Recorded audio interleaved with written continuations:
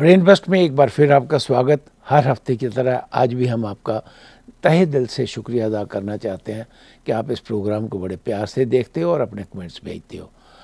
آج سب سے پہلے میں اور طاہر گورا صاحب شردھانجلی دیں گے ان لوگوں کو جنہوں نے اپنی جانیں جو ہیں وہ پلوامہ کے ٹائم پر ایک سال پہلے اپنی جانیں گنوائی تھیں۔ طاہر صاحب اس وقت تو سب سے پہلے ہم دونوں جی۔ مل کر ہاں جی ان کو شردھانجلی ارپت کرتے ہیں۔ انہوں نے اپنی جانیں دیں اور وہ بھی ایک بالکل بغیر کسی وجہ کے۔ ڈاکٹر صاحب، بلا شبہ وجہ یہ ہے کہ وہ دیش کی نہ صرف حفاظت کر رہے تھے، بلکہ اس ریجن میں سب کو سرکشا دینے کے لیے، سب کو سیکیورٹی فراہم کرنے کے لیے اپنا کام کر رہے تھے۔ اور ان کی وہاں پر جو پریزنس تھی، وہ پورے کشمیر اور تمام کشمیریوں کی سرکشا کے لیے تھی۔ تھی بالکل۔ تو اس لیے وہ بہت ہی قابل احترام ہے ان کی شہادت جو ہے وہ وہ انفرگیٹیبل ہے۔ رائٹ اسی لیے آج سب سے پہلے پروگرام ہم دونوں مل کر ان کو شردھانجلی دیتے ہوئے شروع کرتے ہیں اور پھر پروگرام کے اصلی مدعے کے اوپر آتے ہیں۔ مدعے آج دو ہیں۔ ایک تو سب سے بڑا مدعا یہ ہے کہ اس وقت ورلڈ لیڈر جو ہیں، کیا ایڈوگان صاحب یہ سمجھتے ہیں جو کہ پریزیڈنٹ ہیں ٹرکی کے، کہ میں دنیا کا سب سے بڑا لیڈر ہوں؟ یا ان کو کچھ غلط فہمی ہے؟ یا وہ یہ محسوس کرتے ہیں کہ پاکستان جیسے چھوٹے سے کنٹری کو میں بھی جا کے تھوڑی سی ہلہ شاہی کر دوں اور میرا بھی وہاں بڑا نام ہو جائے گا؟ دیکھیے ایڈوگن صاحب جب آئے تھے پاور میں ٹرکی کا ایک نام تھا دنیا میں کہ مسلم کنٹریز میں اگر کوئی بیسٹ ڈیموکریٹک سسٹم ہے تو وہ ٹرکی کا ہے۔ سب سے پہلے آ کے تو انہوں نے ملاز کے ساتھ مل کر اس سسٹم کو برباد کر دیا اور آپ پرماننٹ ساری لائف کے لیے پریزیڈنٹ بن گئے۔ کانسٹیٹیوشن چینج کر دیے۔ ہزاروں لوگ آج بھی جیل میں ہیں جن میں professor doctors and engineers and many bureaucrats جو ہیں وہ آج بھی جیل میں ہیں۔ یعنی کہ کمپلیٹ ڈکٹیٹرشپ جب ہو جاتی ہے تو پھر انسان یہ سمجھتا ہے کہ میرے سے بڑا شاید کوئی نہیں۔ وہ پاکستان میں گئے، انہوں نے وہاں پر جوائنٹ سیشن جو ہے کل ایڈریس کیا۔ وہ جو جوائنٹ سیشن ہے، اس کے بیچ انہوں نے دو تین باتیں ایسی کہیں جن کو میں ٹچ کرنا چاہتا ہوں اور بعد میں طاہر صاحب جو ہے وہ بھی اس پہ اپنا نظریہ جو ہے وہ بتائیں گے۔ ایک تو انہوں نے یہ کہا کہ نائنٹین ففٹین میں آپ کو پتا فرسٹ ورلڈ وار چل رہی تھی اور بہت بڑا اٹیک جو ہے ٹرکی کے اوپر ہوا تھا۔ خاص کر کے اس ایریا کو گالی پولی کیمپین کہا جاتا ہے، جہاں پر انہوں نے باقاعدہ اپنی جانیں دے کر اس ایریا کو بچایا تھا۔ اس میں کوئی شک نہیں۔ لیکن ایٹ دی سیم ٹائم یہ بھول جاتے ہیں کہ وہ جو بچانے میں جس کی ہیلپ تھی، وہ ویسٹرن ورلڈ تھا۔ ویسٹرن ورلڈ نے مل کے ان کو وہ بیٹل آف کینا کلے جو کہلاتی ہے، اس میں ان کی مدد کی اور وہاں پر اس کو اٹیک کو کافی جانوں کے بعد ریورس کیا۔ لیکن ہوا کیا کہ لاہور میں علامہ اقبال کے انڈر کچھ ہزاروں مسلمان، سینکڑوں یا ہزاروں مسلمان اکٹھے ہوئے ہوں گے اور انہوں نے ایک وہاں پہ ٹرکی کے حق میں کہا جاتا ہے کہ ٹرکی کے حق میں انہوں نے ایک بہت بڑا مظاہرہ کیا۔ تو آج ایڈوگن صاحب وہاں پر جا کے یہ کہہ رہے تھے جوائنٹ پارلیمنٹ سیشن کو۔ دیکھیے پریزیڈنٹ آف ٹرکی ایڈریس کر رہا ہے جوائنٹ سیشن کو اور کہہ رہا ہے کہ اس وقت میں بہت دھنیہ ہوں پاکستانیوں کا جنہوں نے اس وقت ہماری اتنی مدد کی۔ اس وقت نہ تو پاکستان کا نام تھا۔ یہاں تک کہ جو پاکستان کو بنانے والے جنہ ہیں، انہوں نے بھی یہ سوچ نائنٹین فورٹی میں لے کے آئے تھے کہ ہمیں ایک الگ کنٹری چاہیے، نہ کہ نائنٹین ففٹین میں۔ نائنٹین ففٹین میں تو ہندو، مسلمانوں کے نعرے لگایا کرتے تھے اکٹھے۔ یہ بڑے افسوس والی بات ہے کہ ایک باہر کا پریزیڈنٹ وہاں پر جا کے یہ کہے اور ساتھ میں یہ کہے کہ جو ہمارا حال تھا گیلی پولی کیمپین کا، یہی حال آج ہندوستان نے کشمیریوں کا کیا ہوا۔ ہے what a shame it is آگے چل کے ہم آپ کو بتائیں گے کہ جو اس وقت پچیس آدمیوں کا جوائنٹ وزٹ ہوئی ہے، انہوں نے کیا کہا ہے؟ وہ آگے چل کے بتائیں گے، اس میں بڑے امپورٹنٹ ہے لیکن سب سے پہلے یہ بات ضرور یہاں پہ طاہر صاحب کے ساتھ کریں گے کہ یہ کیا بات کرتے ہیں پریزیڈنٹ صاحب وہاں پر جا کر کہ جی بالکل گالی پولی کمپین کی طرح آج کمپین جو ہے وہ پاکستان، کشمیر کے گئے چلا رہا ہے اور ہم پوری کھلے دل سے مدد کرتے ہیں۔ ارے، آپ کی امپورٹنس کیا ہے؟ ہو کیئرس آپ کو تو ناٹو کا کوئی نہیں پوچھتا، ارد گرد کا کوئی آدمی۔ ہاں رشیا ضرور آپ کو گھاس ڈال رہا ہے کیونکہ رشیا کا اپنا پرسنل انٹرسٹ ہے وہاں پر۔ پر اینی وے یہ بات تو اتنی لمبی ہے کہ ہم گھنٹوں کر سکتے ہیں، لیکن سب سے پہلے طاہر صاحب سے اس کے بارے میں پوچھتے ہیں کہ یہ جو وہاں پر جا انہوں نے جوائنٹ سیشن اٹینڈ کیا ہے اور ایڈریس کیا ہے، اس میں جو انہوں نے اتنا کچھ کہہ دیا اینٹی انڈین سینٹیمنٹس اور اپنے آپ کو ایک قسم کا ورلڈ لیڈر ثابت کرنے کی کوشش کی ہے۔ یہ آپ کو کوئی ہنسنی والی بات نہیں نظر آتی؟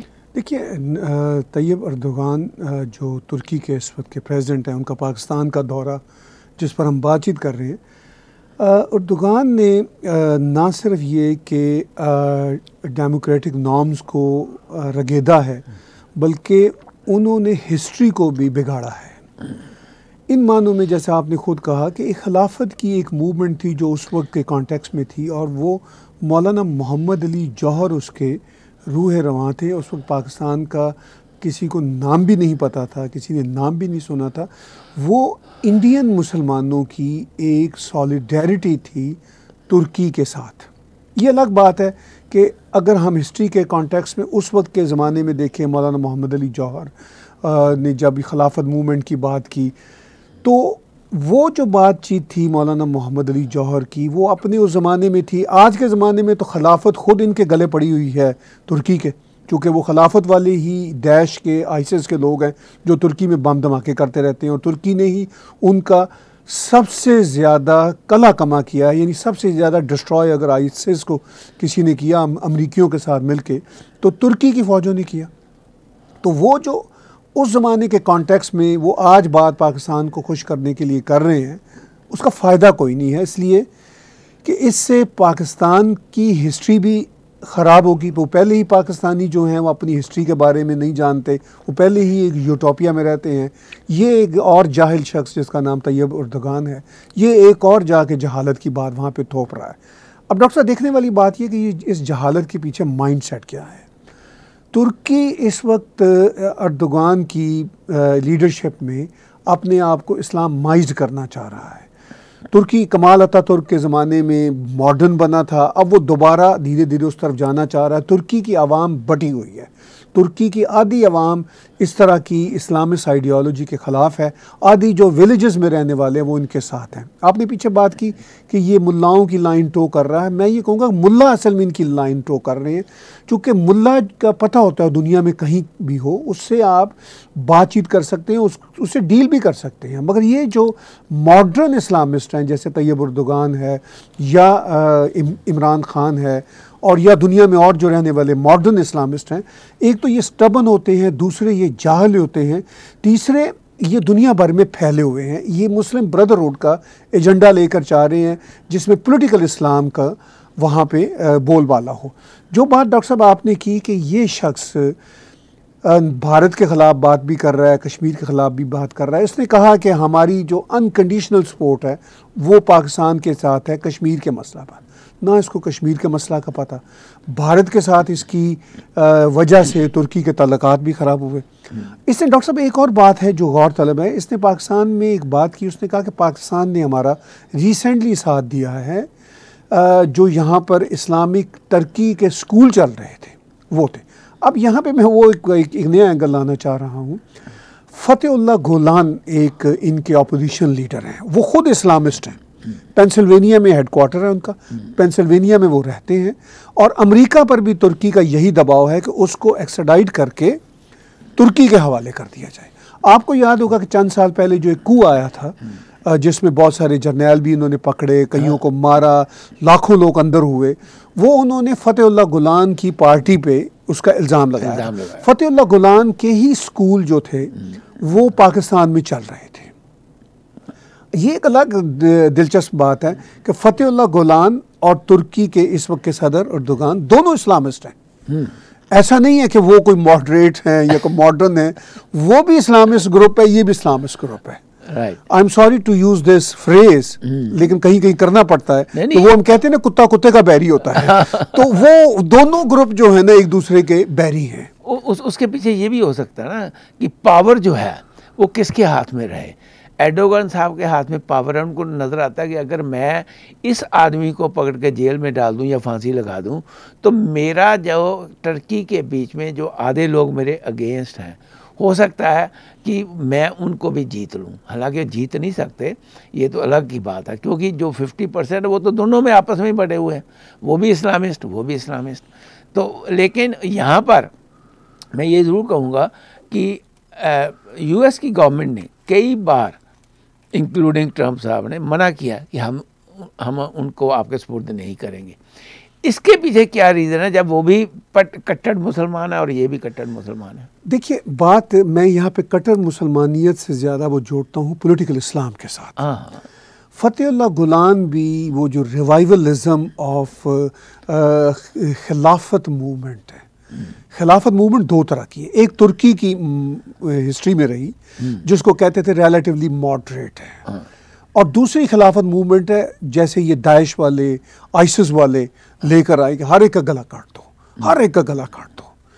اپنے لوگوں کا بھی گلا کاٹ دو۔ جو ان کے اپنے اندر کے لوگ ہوتے ہیں ان کے خلاف بولتے ہیں ان کا بھی گلا کاٹ دو۔ وہ اس ایکسٹریم پر ہیں۔ تو آپ نے پوچھا کہ کیا وجہ ہے کہ یہ دو اسلامس گروہ یا کٹر اسلام پر بلیو کرنے والے گروہ ایک دوسرے کے خلاف ہیں۔ بالکل، ایک بات آپ نے خود بڑی اچھی کی کہ یہ پاور کا کھیل ہے۔ لیکن اس کے پیچھے مائنڈ سیٹ جو ہے نا، وہ ڈاکٹر صاحب یہ ہے کہ ترکی والے لوگ یہ سمجھتے ہیں کہ ہم وائٹ بیک گراؤنڈ کے ہیں۔ یورپین نسل ہیں۔ ہم سپیریئر ہیں مسلمانوں میں سب سے زیادہ۔ ایک فیکٹر اب مسلمانوں کی جب بات آتی ہے تو تین بڑے مسلمانوں کے گروہ ہیں دنیا میں۔ ایک یہی ترکی والے جو مائنورٹی میں ہیں اپنی پاپولیشن کے اعتبار سے البانیہ سے لے کر یہ ترکی تک سینٹرل ایشیا تک پھیلے ہوئے ہیں۔ دوسرا گروہ ہے مڈل ایسٹرن کا رائٹ عربوں کا۔ اچھا تیسرا بلکہ چوتھا گروہ چوتھا گروہ یہ اب شیعہ ریوائولزم والے لوگ ہیں۔ رائٹ جو ایران سب سے زیادہ اچھا وہ مکس ہے۔ اس وقت ایران کو بھی جو عربی النسل شیعہ ہیں انہوں نے ہائی جیک کیا ہوا ہے۔ خیر یہ ایک الگ بحث ہے۔ چوتھا جو مسلمانوں کا گروہ ہے وہ ہے ہمارے انڈیا کا۔ انڈیا سے جو نکلے مسلمان بنگلہ دیش میں ہیں اب پاکستان میں ہیں حتیٰ کہ انڈونیشیا ملائیشیا تک پھیلے ہوئے ہیں۔ وہ ایک الگ سا ایک سٹریک بنتا ہے چائنیز چائنیز چائنیز نسل مسلمانوں کا جو ملائیشیا سے اوپر سے ان کے آنے تک جاتے ہیں۔ خیر اس بحث میں نہیں جاتے۔ ان کا یہ خیال ہے ترکی کے مسلمان گروہوں کا اسلامس گروہوں کا کہ ہم الٹیمیٹلی مسلمانوں کے لیڈر ہوں گے۔ سعودی عرب سے خار کھاتے ہیں۔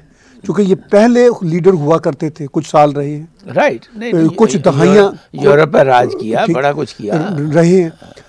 پھر اس کے بعد یہ جب سے آل سعود فیملی نے قبضہ کیا ہے نجف پہ اور انہوں نے کہا کہ اب یہ مکہ بھی ہمارے پاس مدینہ بھی ہمارے پاس مسلم بھی ہمارے قبضے میں ہے بالکل۔ ٹھیک ہے؟ پھر ان کے پاس تیل بھی آ گیا وہ پیسے سے ان کو چلاتے رہے۔ اب سعودی عرب سے ان کی ٹکر ہے۔ انہوں نے پچھلے دنوں ملائیشیا کے سوری انڈونیشیا کے ساتھ مل کے کوالالمپور میں اور دوگان نے کانفرنس بھی کی۔ یعنی ایک الگ سے بلاک بنانے کی کوشش کی۔ تو اب اردوگان کا یہ معاملہ ہے کہ وہ چاہتے ہیں کہ ان کا ہولڈ اسلامی دنیا پہ زیادہ ہو۔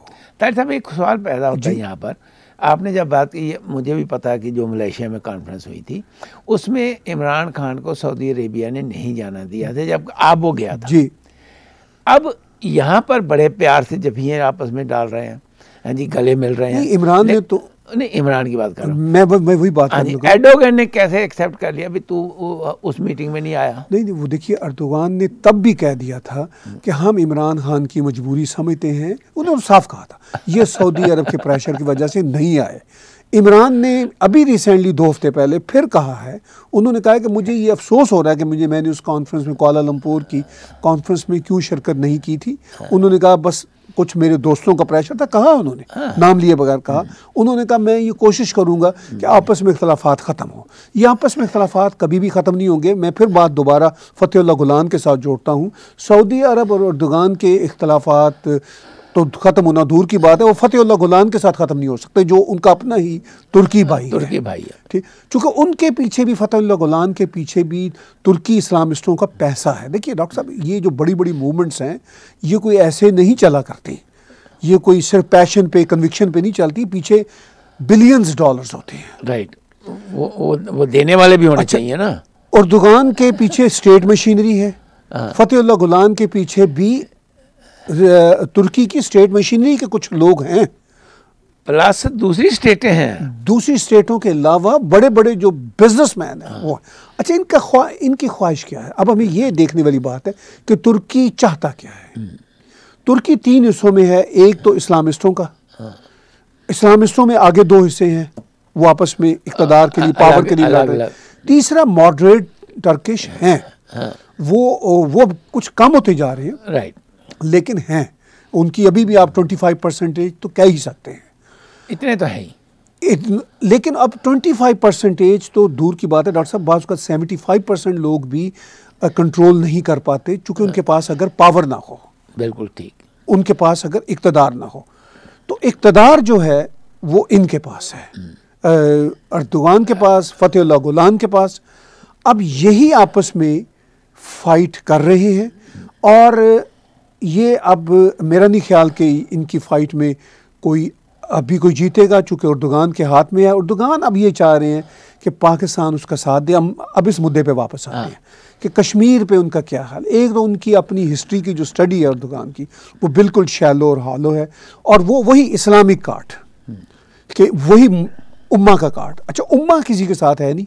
امہ تو مطلب کو بیس حصوں میں تقسیم ہوئی ہوئی ہے اور کبھی بھی نہیں ہوگی۔ اس کی وجہ یہ ہے کہ امہ فیتھ پہ نہیں چلا کرتی امہ اپنی ایتھنک لینیج پر چلا کرتی ہے۔ اس ساری صورتحال میں میں یہ سمجھتا ہوں کہ پاکستان کے ساتھ اردوغان جس حد تک بات چیت کر رہے ہیں، اس سے پاکستان کو بھی فائدہ نہیں ہوگا۔ اردوغان کو بھی پاکستان سے کیا ملنا ہے؟ ٹھیک ہے، پاکستان اسٹریٹجیکلی ایک بڑا کنٹری ہے۔ زیادہ سے زیادہ ان کی بات چیت میں آپ کو بتا دیتا ہوں، وہ چل رہی ہوگی۔ جو پاکستان میں مائنز ہیں وہ اس پہ ترکی کی کمپنیوں کو کس طرح کنٹرول دیا جائے۔ کنٹرول دیا جائے۔ ابھی ترکی کی ایک کمپنی نے پاکستان پر ایک بلین سوری کوئی تقریباً پونے چھ بلین ڈالر کا کیا تھا سو۔ اور پانچ نو سو ساٹھ ملین ڈالر انٹرنیشنل کورٹ نے کہا تھا پے کیا جائے۔ یعنی ایک بلین ڈالر۔ ٹرکی کو پے کیا ٹرکی کو ٹرکی کی اس کمپنی کو۔ تو پاکستان کے پاس تو پیسہ ہے جو جو لاسٹ ان کی میٹنگ ہوئی تھی جس میں ترکی نے پاکستان کی سپورٹ کی تھی پاکستان نے ترکی کی کی تھی۔ تو اس کے بعد یہ کہا گیا کنفرم نہیں ہے ہمارے پاس۔ یہ کہا گیا کہ اردوغان نے ترکی کی اس فرم سے کہہ دیا کہ پاکستان سے یہ پیسے نہ لیں۔ ایک بلین ڈالر اگر پاکستان کو چھوڑتے ہیں تو ایسے نہیں چھوڑیں گے کوئی پیچھے سے کوئی اور مفاد حاصل کریں گے۔ ڈیفینیٹلی اب پرابلم ایک اور انٹرسٹنگ ہے یہاں پہ میں بات جوڑوں گا۔ ترکی کے یہ صدر اردوغان جو ہیں یہ بڑے بلنٹ اور یعنی بڑبولے آدمی ہیں۔ انہوں نے کئی مقامات پر چین کو بھی برا بلا کہا خاص طور پر سنکیانک مسلمانوں کے معاملے میں۔ اس سلسلے میں میں ویسے ان کو یہاں پہ کریڈٹ دیتا ہوں اردوغان کی۔ چاہے انہوں نے یہ کسی بھی موٹو میں کہا ہو مگر کسی بھی مسلم لیڈرشپ کو آج تک جرت نہیں ہوئی تھی۔ چین میں مسلمانوں کے ساتھ جو ظلم ہو رہا ہے اس پہ بات کرتے ہیں مطلب ہیومن رائٹس کے وائلیشن وہ ہیومن رائٹس کی وائلیشن اگر کسی اسلامی کنٹری نے چیلنج کی تو اس اس نے کی ترکی نے کی۔ اب پاکستان دیکھیے پاکستان کیسے پلے اراؤنڈ کرنا چاہتا ہے۔ پاکستان چاہتا ہے ہم امریکہ سے کچھ مدد مل جائے۔ امریکہ سے نہیں ملتی تو چین کی طرف ہوتا ہے۔ چین کی طرف زیادہ جاتا ہے تو امریکہ ساتھ نہیں دیتا۔ پھر پاکستان کو یہ بھی پتہ چلتا ہے کہ چین کی طرف سے بہت کھلے پیسے نہیں ملتے۔ اور اس وقت چونکہ چین ایک ٹریجڈی میں بھی شامل ہے، مت پھنسا ہوا ہے کہ وہ تو ہم افسوس کا اظہار کرتے ہیں کرونا۔ تو اس میں چین کو تو آج کل کوئی ہوش ہی نہیں ہوگی، لیکن پاکستان کو تو ہر روز اپنی سانس کے لیے پیسے چاہیے۔ تو وہ ترکی سے کہے گا، اب ترکی اگر کنٹرول لیتا ہے کچھ مائنز کا بلوچستان میں یا کچھ، تو چین خوش نہیں ہوگا۔ چونکہ چین ایک تو اپنے وہ کنٹرول سے جانے نہیں دینا چاہے گا۔ دوسرا چین کو ترکی کو بہت پسند نہیں ہے۔ ایک ایک- ایک اور بہت بڑی انٹرسٹنگ بات ہے طاہر صاحب، کہ ایڈوگن صاحب جو ہیں، وہ پاکستان کے پاس سوائے اس کے کہ ان کی کچھ کمپنیاں وہاں پر جا کے مائنز میں سے ایکسپلائٹیشن کر سکے دیٹس آل کوئی پیسہ نہیں ہے پاکستان کے پاس دینے کو، کوئی لینے کو۔ لینے کو تو ہے، جتنا مرضی دے دو، وہ لے لیں گے۔ لیکن جب ٹرکی رشیا کے ساتھ بڑی فرینڈ شپ کر رہا رشیا کے پاس کچھ بھی نہیں ہے دینے کو، ان کی تو اپنی اکنامک حالت بہت خراب ہے۔ امریکہ کو یہ ناراض کر رہا ہے۔ ایران کو بھی یہ ناراض کرنے کی کوشش کر رہا ہے۔ ہاں جی کیونکہ ایران کی جو وہاں پر سیریا میں پاؤں گڑے ہوئے ہیں، ان پر بھی یہ کہتا کہ نہیں، میرا میرا یہ ایریا ہونا چاہیے۔ یہ جو آپس میں اس وقت جس کو کنفلکٹ کہتے ہیں، چائنا کے ساتھ تو ختم ہی ہوگی نا۔ چائنا کے ساتھ تو ان کی دوستی ہو ہی نہیں سکتی جب سے انہوں نے کرٹیسائز کیا ہے اگھر کے علاقے کو۔ وہ تو ہو ہی نہیں سکتی، بات ہی ختم ہو گئی۔ تو میرا مطلب یہ، کیا کمائی کر رہے ہیں وہاں پر بیٹھ کر۔ پاکستان سے انہوں نے کیا لینا ہے سوائے مائنز کے۔ مائنز کو ایکسپائر کرنے کے لیے پانچ سے دس سال لگتے ہیں۔ اور جس علاقے کی آپ بات کر رہے ہو، وہ کہ علاقہ بہت پیسفل نہیں ہے۔ جو کمپنیاں ہوتی ہیں، جب وہ انویسٹ کرتی ہیں، تو وہ دیکھتی ہیں کہ وہاں پر پیس ہے نہیں ہے۔ ہمارا پیسہ لگ کے خراب نہ ہو جائے، واپس بھی آئے گا یا نہیں آئے گا۔ ٹرکی کی اپنی اکنامک کنڈیشن جو ہے، وہ میں پچھلے دو سال سے پڑھ رہا تھا کہ it is not going up the way it was going on earlier ہاں جی جب یہ یورپ کے ساتھ تھے۔ یہ یورپ کا حصہ بننا چاہتے تھے، یورپ نے منع کر دیا کہ نہیں، اب آپ وہ کنٹری نہیں رہے جو کہ جس کی کی وجہ سے ہم آپ کو لے سکیں۔ تو یہ سارا کھیل دماغ میں رکھتے ہوئے for the betterment of Turkey what exactly he is gaining in Pakistan and annoying India which is going to be a big power in other five years that may be the third biggest economy in the world تو یہ envoy کر کے China کو envoy کر کے امریکہ کو envoy کر کے انڈیا کو انوائے کر کے واٹ آر دے گیننگ دیکھیے میں یہاں پہ یہ بات کروں گا کہ پاکستان اپنے جغرافی کے اعتبار سے with with that Balochistan part کافی بڑا ریجنل پلیئر ہے۔ اپنی اسٹریٹجی کی وجہ سے۔ پاکستان کنیکٹڈ ہے ایران کے ساتھ بھی افغانستان کے ساتھ بھی۔ اور انڈیا کے ساتھ بھی؟ انڈیا کے ساتھ۔ چلے وہ میں مطلب وہاں سے اس کو فائدہ کوئی نہیں ہوگا نا۔ وہ چونکہ پاکستان اگر کوئی فائدہ لینا چاہتا ہے تو وہ افغانستان اور ایران سے لینا چاہتا ہے۔ حالانکہ اگر انڈیا سے فائدہ لے پیس وہ لوگ تو سب سے زیادہ فائدہ ملے گا۔ لیکن یہ یہ بحث کے لیکن لیکن ایک منٹ طاہر صاحب ایران سے تو فائدہ مل ہی نہیں سکتا ان کو۔ اس لیے نہیں مل سکتا کہ سعودی عربیہ بیٹھا ہوا ہے۔ وہ ساری چیزیں یہ یہ جو ڈاکٹر صاحب یہ پھر سوچ کیا؟ اگر پولیٹیشن میں ویسے تھوڑی سی آپ کو بات کروں۔ کنفیوز سوچ ہے۔ نہیں کنفیوز سوچ نہیں ہے۔ ہاں۔ ابھی آپ نے چین کی اور ترکی کی بات کی تھی۔ ایسا بات نہیں ہے کہ ترکی نے چین کو کرٹیسائز کیا تو ان کے تعلقات ہمیشہ کے لیے ختم ہو گئے ایسی بات نہیں ہے۔ وجہ یہ ہے ڈاکٹر صاحب جو جو یہ اسٹیٹ ایکٹرز ہوتے ہیں آپس میں یہ مفادات کو پہلے دیکھتے ہیں بالکل ٹھیک ہے۔ اور اختلافات کو بعد میں دیکھتے ہیں۔ اگر تو ان کے مفادات ٹریڈ ٹریڈ پیسفلی ہو سکتا ہو تو چین کے ساتھ ان کا ٹریڈ ہے چونکہ چین کے لیے ترکی امپورٹنٹ منڈی ہے اور ترکی کے لیے چین بھی امپورٹنٹ منڈی ہے۔ وہ ٹریڈ ان کا چل رہا ہے۔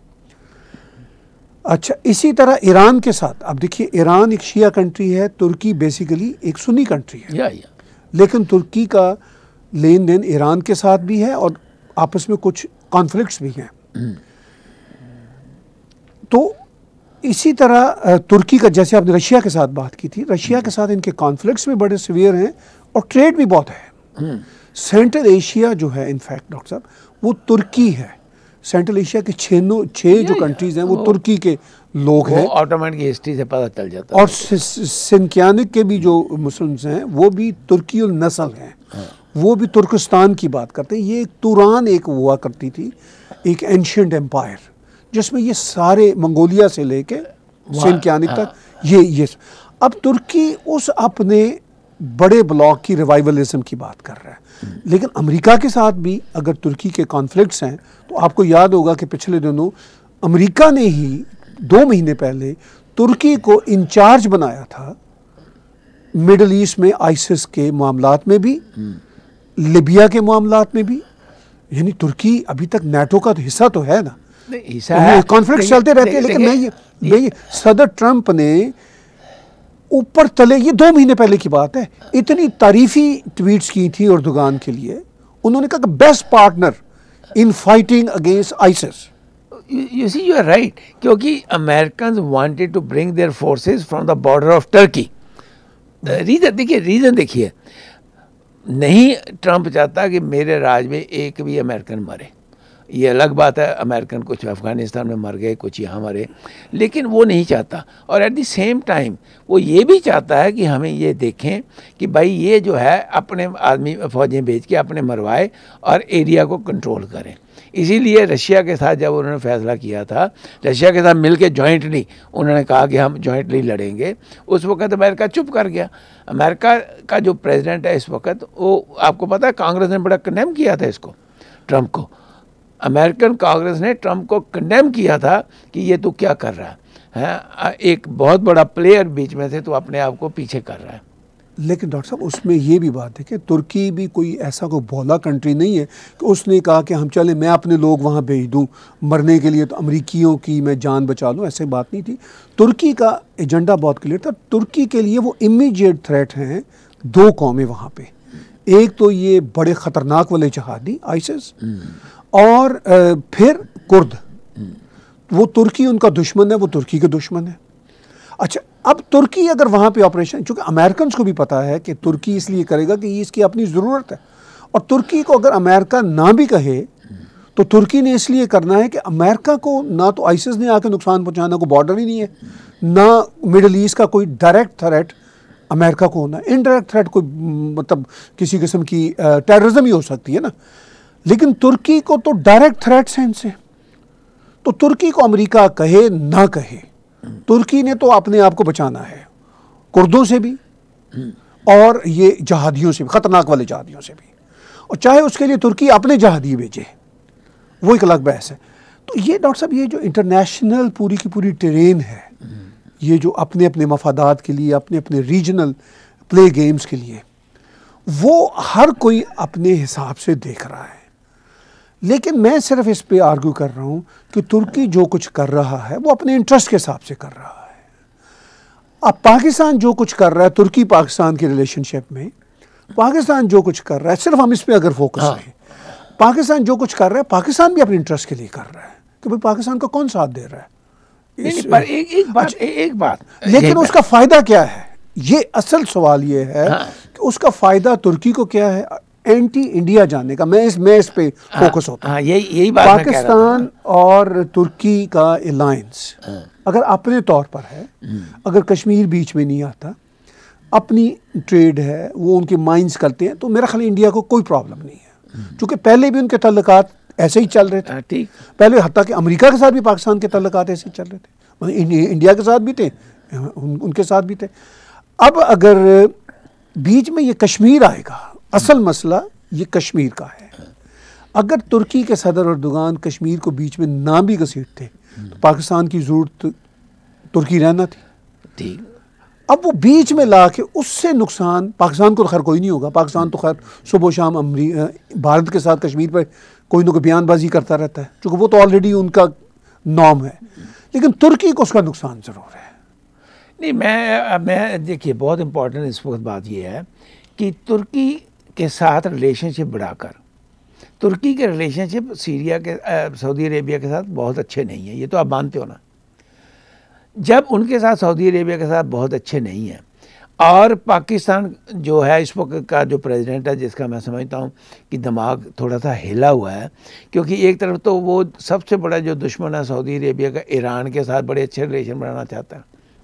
اب ترکستان کو رات دن اٹھانا شروع کر دیا ہے۔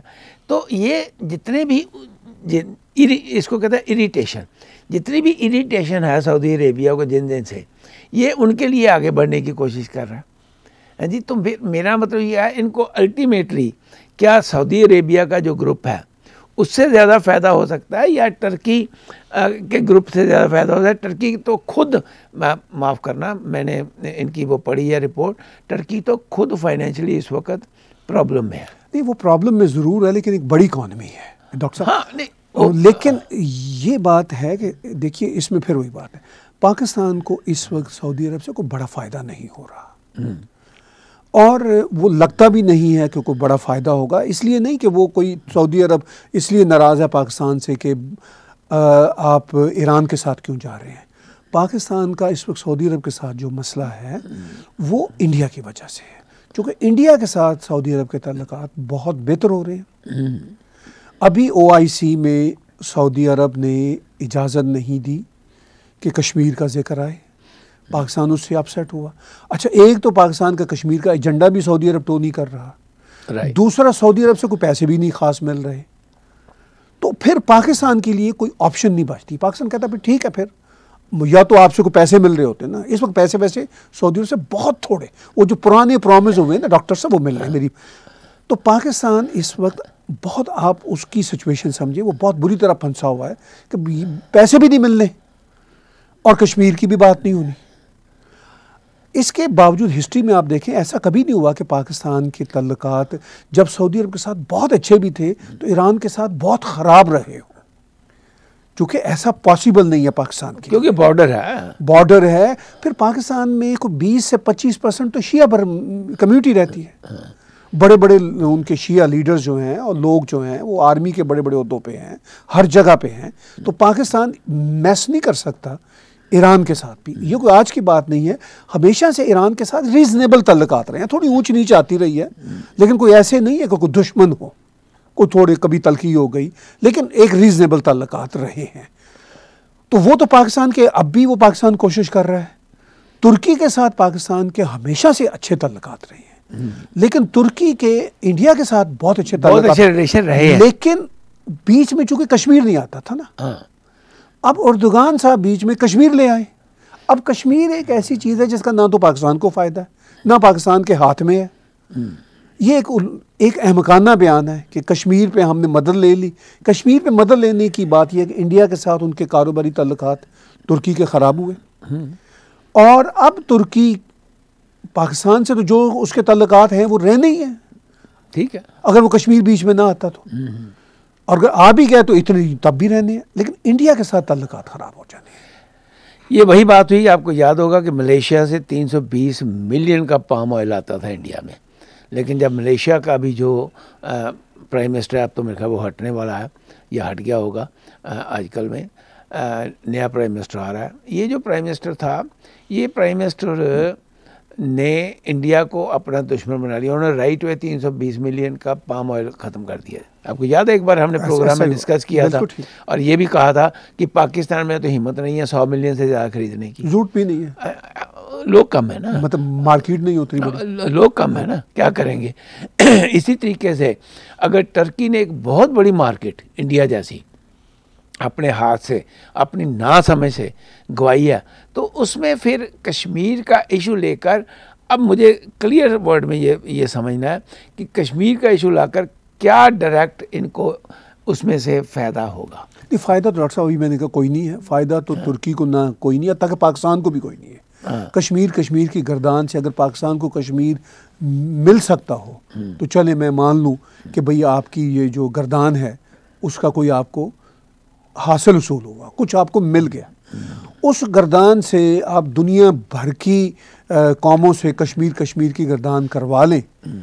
کشمیر جب پہلے یونین ٹیریٹری بھی نہیں تھا جموں اینڈ کشمیر اور لداخ کی میں بات کر رہا ہوں جب وہ کوٹ ان کوٹ کانٹروورشل بھی تھا یا ڈسپیوٹیبل تھا، تب بھی کبھی پاکستان کے ہاتھ نہیں آ سکتا تھا اب تو وہ سٹیٹس بھی ختم ہو گیا۔ تو یہ اس کا فائدہ، چلیں ترکی کو تو نقصان جو ہوگا ہوگا بھارت کے ساتھ ایک بائی ریلیشن شپ خراب ہونے میں۔ پاکستان کو فائدہ ہو جائے، ترکی نے کہہ دیا۔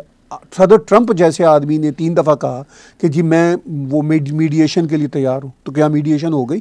نہیں نہیں وہ تو اٹھی۔ اگر اگر world most influential country United State of America mediation کی بات تین دفعہ کر چکا ہے ہاں۔ اور اپنے وہ افغانستان کے انٹرسٹ کی وجہ سے پاکستان کے خلاف اس مسئلہ پہ بات نہیں کرتا اس کا پاکستان کو کیا فائدہ ہوا؟ پاکستان کو تو کوئی فائدہ نہیں ہوا۔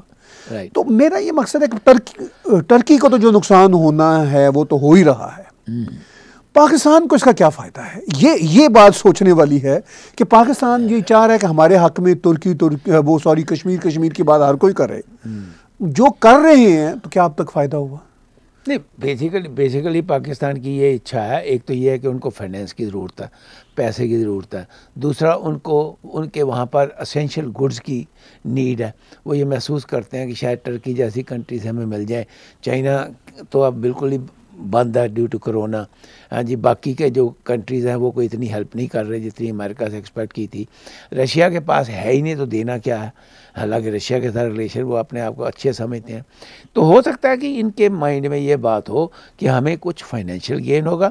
پلس ہمارے لوگوں کی جو ضرورتیں ہیں وہ بھی ترکی سے ہم منگوا سکتے ہیں۔ ہاں، وہ تو ٹھیک ہے وہ تو ایک جینون بات ہے۔ وہ تو جس حالات میں پاکستان پھنسا ہوا ہے لیکن وہ کشمیر کے ذکر کے بغیر بھی تو مل سکتا تھا نا پاکستان کا پر چلیے یہ ایڈوگن صاحب کی اپنی فلاسفی ہے ہو سکتا ہے وہ سوچتے ہوں کہ میں مسلمان پہلے ہاں ہوں۔ وہ ایک اصل میں ایک آلٹرنیٹ مسلم لیڈر کے طور پر ایمرج ہونا چاہ رہے ہیں۔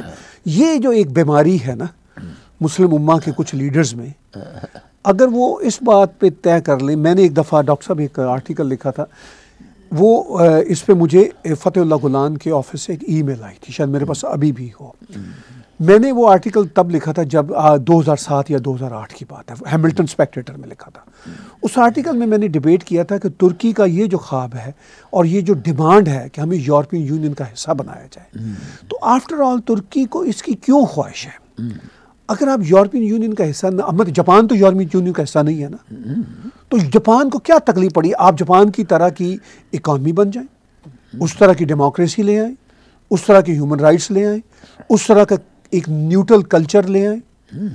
تو آپ کسی یورپین یونین کا حصہ ہو نہ ہو ہو کیئرس رائٹ اس میں مجھے انہوں نے ای میل کی کہ you do not understand our aspiration to become part of European Union میں نے کہا آپ کو یورپین یونین میں گھسنے کی ضرورت کیا ہے؟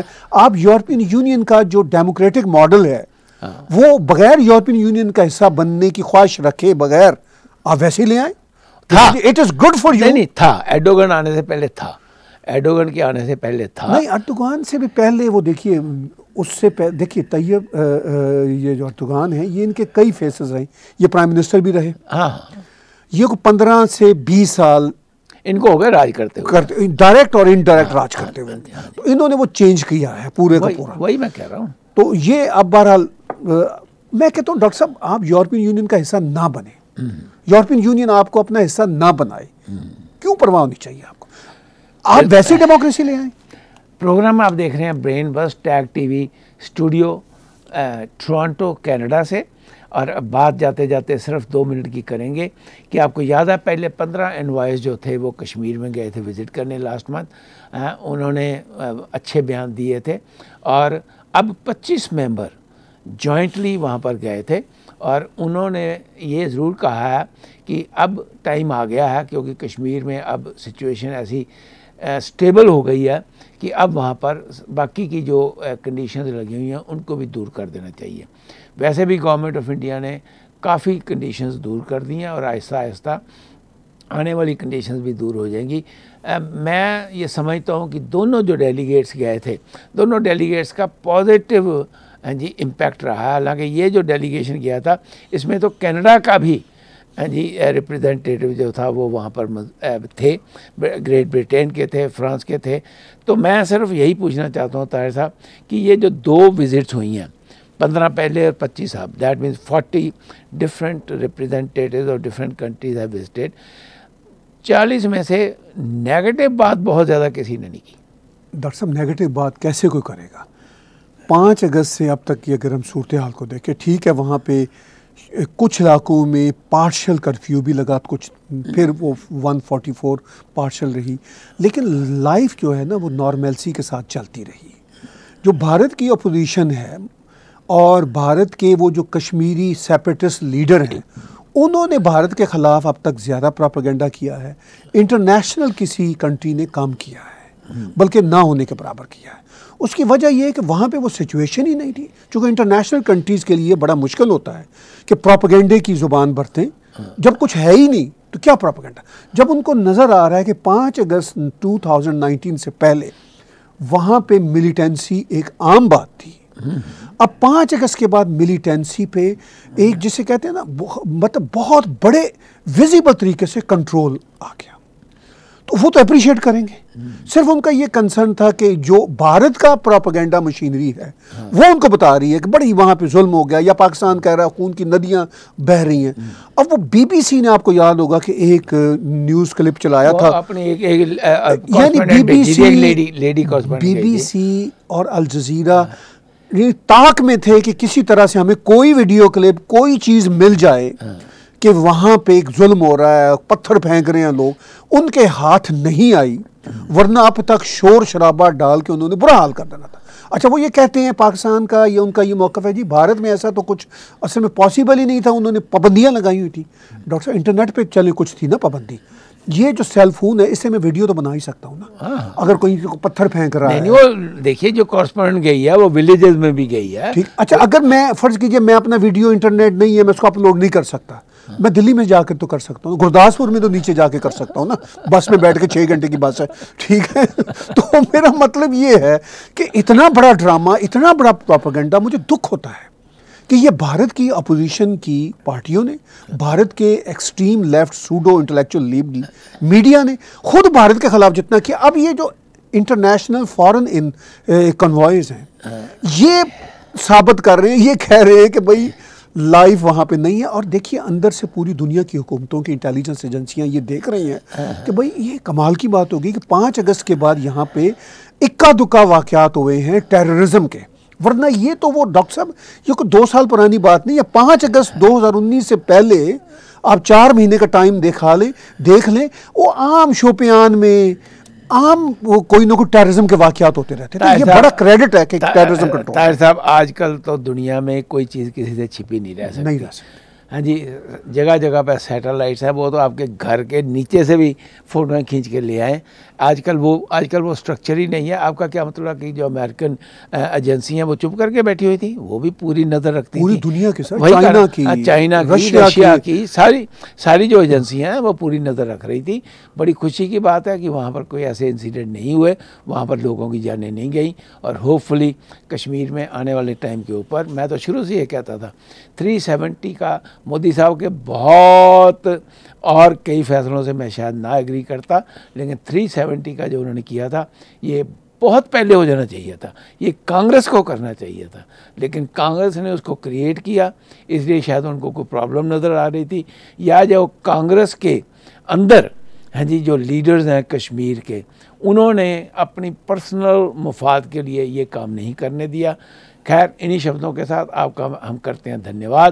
اور پھر جاتے جاتے ایک بار پھر پلوامہ کے جتنے بھی ہمارے شہید ہوئے ہیں، ان کو ایک بار پھر شردھانجلی دیتے ہیں۔ اور امید کرتے ہیں کہ اگلے ہفتے پھر آپ اسی وقت ہمیں ملیں گے اور اسی پروگرام کو بڑے پیار سے دیکھیں گے۔ Thank you have a very very good week